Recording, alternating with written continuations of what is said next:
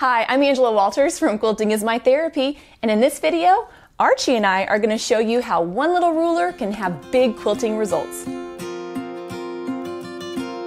I've done videos for the other rulers and now it's Archie's turn. If you want to check out those videos, just check out the description box below. I have all the information on where you can find him. Archie may be a small ruler, but he sure is mighty.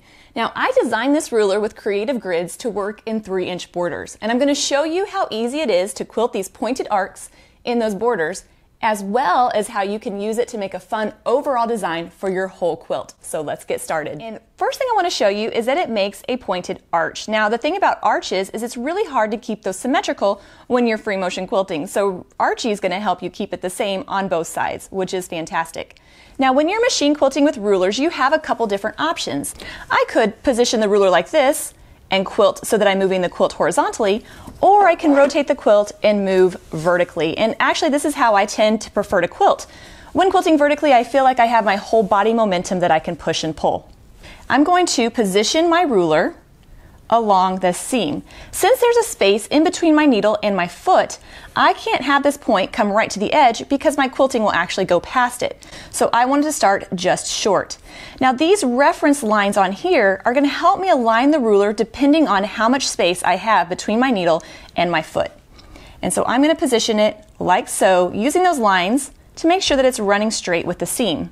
Then I'm going to press down and quilt around my arc until I get to the next needle stop.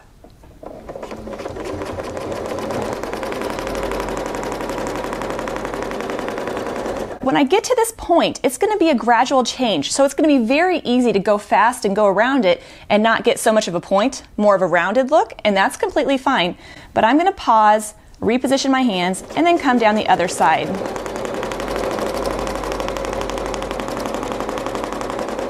And I'm going to go until I touch the seam. Then I have my first little arc. Now I'm going to repeat that shape again along my border. And that's actually where these needle stops come in handy. So the way these needle stops work is as I quilt to my next one, I'll be able to reposition my ruler and that will keep the design nice and consistent. I won't have to overthink it. I'll just have to reposition, line it up, and then do it again. Go around to that point, come around the other side until I touch the seam. If my ruler happens to shift, it could be that I'm not pushing it down enough. There is that grip on the back that's gonna help hold it in place. But if it does slip or your hand slips, you can reposition it and bring it in. It doesn't have to be perfect, right? We're just using this as a guide. And I'll go ahead and do one this way just so you can see the slight difference that it has. Around and back. And you can see how easily I'm getting consistent, similar arcs. I love it.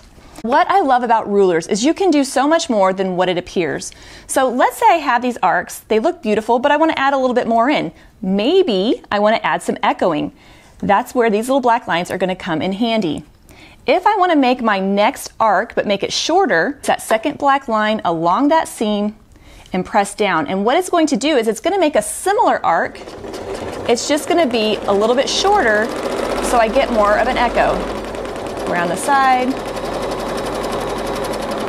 and back in. So there's going to be a little traveling, but that's fine because we'll have our ruler there. And let's do it again, lining it up on the second line, holding it in place, and then going around.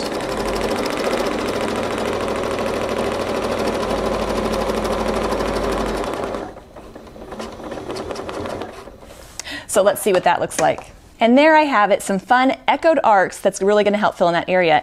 Now let's try some fun orange peel arcs. You're probably familiar with orange peels where it's a curve and then another curve inside.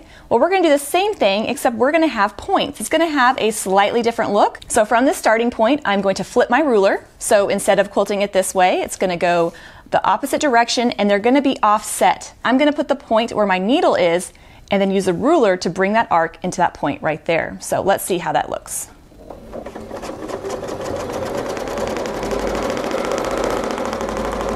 As I work my way around, if I need to, I can switch my hands.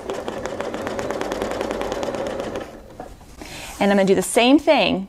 Reposition, line it up, and then go from point to point.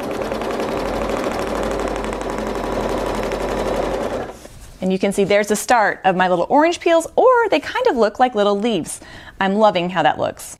Now I know that every quilt isn't going to have a 3 inch border. That's why you can use Archie to fill in larger spaces. You can actually stack these arcs on top of each other to get a really cool look that's going to fill in a bigger area, such as a block or even a whole quilt. And I'm going to start by quilting a row of arcs along my area.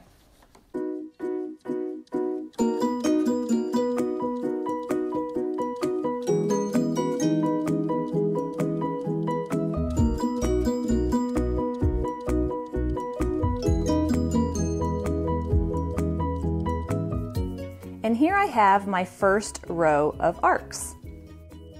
And what I'm going to do is quilt another row of arcs directly on top of the previous one. And I'm going to use these points as my guide to quilt those arcs. So I'm going to take Archie and I'm going to position it so that when I come down the side, I'm going to end at one of those points.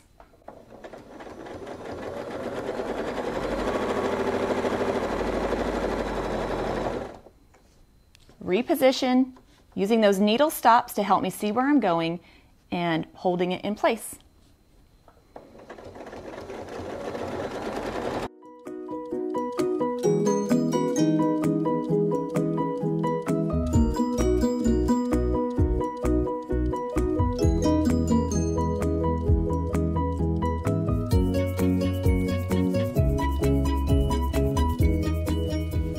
I love how this looks, but I'm gonna add just a little bit more quilting. I'm gonna go back and flip my Archie around and quilt little orange peels inside all of these and show you how neat that looks.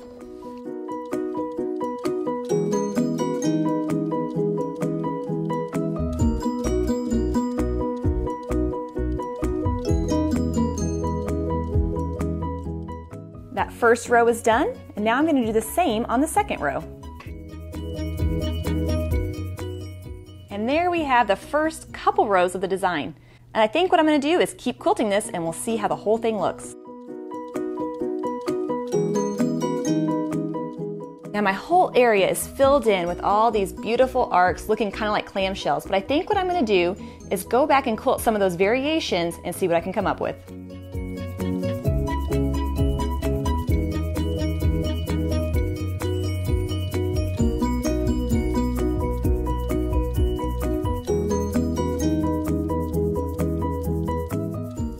Now, how about that? Who would have thought that such a little ruler could have such big results?